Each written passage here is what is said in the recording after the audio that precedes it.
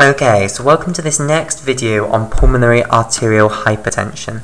So, we've discussed that in pulmonary arterial hypertension, what happens is the pulmonary arteries, uh, and all the arterioles as well, are too contracted, basically. The, um, the lumen of those blood vessels is too narrow. So effectively, you're squashing a, your uh, blood that's being delivered by the right ventricle into the pulmonary system into a smaller space, and then that's causing the blood to push on the side of the wall, uh, the side of the um, blood vessel wall, with a greater force, and that's what is called pulmonary arterial hypertension, or PAH. Right, so we're trying to understand the pathophysiology of that so that we can understand how this new drug, riociguat, uh, riociguat, or however you want to pronounce it, uh, works to combat pulmonary artery, arterial hypertension. Okay, uh, so we've discussed that you get some sort of dysfunction of the endothelial cells um, that line uh, these blood vessels of the pulmonary arterial system so that they produce less nitric oxide than they should do. Okay, now let's just remind ourselves of the mechanism by which nitric oxide produces relaxation uh, within a smooth muscle cell. So let's say this is a smooth muscle cell. Whoops. Okay, so this is a smooth muscle cell. Right, now in the smooth muscle cell, there are soluble guanylyl, uh, guanylate cyclase enzymes. Okay, so we draw our soluble guanylate cyclase enzyme here. Okay, so um, here are the, um, well, let me draw it in full actually. I don't know if I'm going to be able to fit it in now. Let's put it in here. Okay, so here is our soluble guanylate cyclase enzyme. So it consists of two subunits, an alpha subunit and a beta subunit. So on the left I've drawn the alpha subunit, on the right I've drawn the beta subunit. Okay, and basically each of these subunits contributes half of the catalytic uh, portion of the enzyme. So each one of them at the bottom here, which I'll draw in blue, has a catalytic domain. And basically these catalytic domains are half of the active guanylate cyclase enzyme. So uh, they're going to dimerize basically, and that will be the active guanylate cyclase enzyme here now.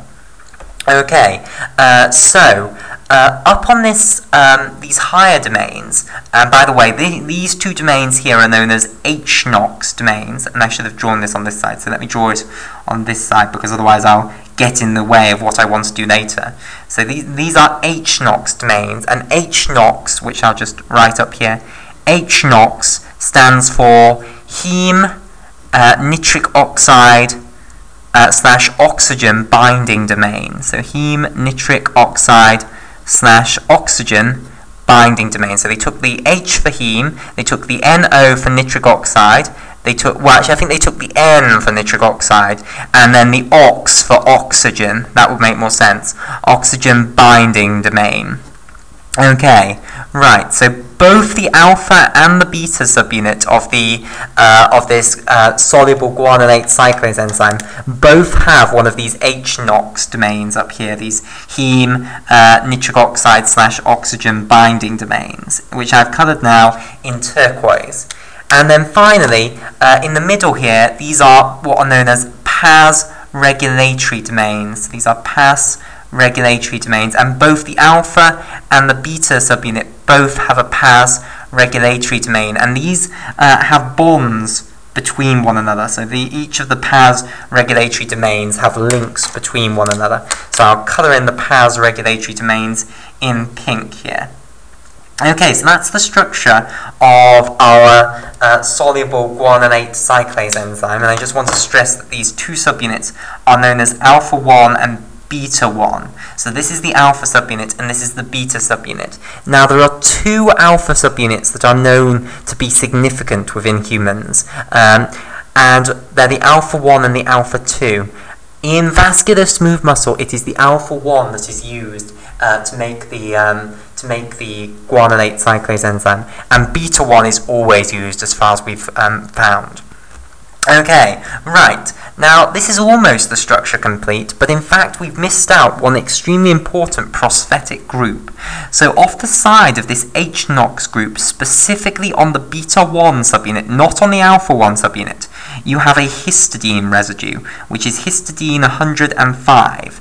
Now, histidine basically forms a coordinate bond with an iron uh, cation that is at the center of a porphyrin ring, i.e. a heme group. So here is our heme group, which consists of this iron cation, this ferrous cation, because it's an iron cation uh, which has a divalent positive charge, and it's coordinated within this uh, uh, porphyrin ring to make a heme group.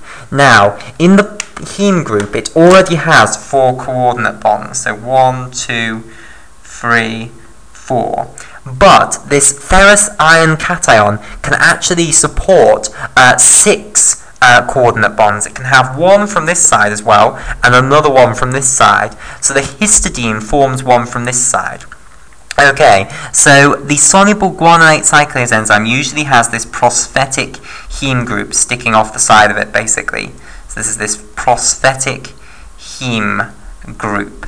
Okay, now, when nitric oxide arrives from the endothelium, it diffuses across this uh, phospholipid bilayer of the smooth muscle cell and into the cytoplasm of the smooth muscle cell. It then finds this soluble guanylate cyclase enzyme, which is usually just abbreviated as SGC for soluble guanylate cyclase. It finds that in the cytoplasm of the cell and it then forms the sixth coordinate bond that this ferrous cation can support. So here's our nitric oxide molecule forming this sixth coordinate bond.